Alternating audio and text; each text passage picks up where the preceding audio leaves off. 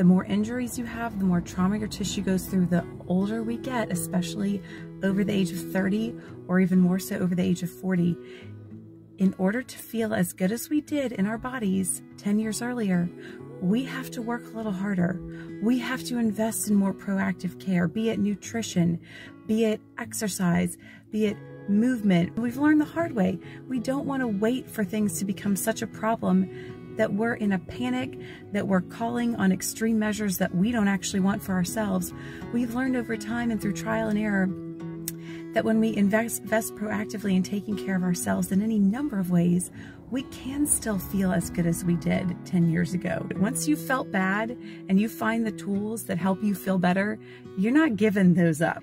You can choose that proactive path and still feel so good in your body.